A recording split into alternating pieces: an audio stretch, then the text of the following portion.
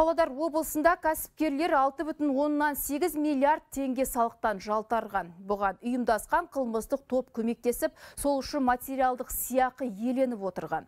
Олар 26 еншілес компанияны тіркеп 4 жылда кәсіпкерлерге 18 миллиард теңге сомаға жалған шот фактуралар жазып берген дәлелденді. Тергеу барысында қылмыстық топтың заңсыз қызметін 225 компания пайдаланған. Оның жетекшісі 8 жылға бас бостандығынан айырылды. Қалған мүшелері мүшелеріне үштен 8 жылға дейінгі мерзімге жаза тағайындалды.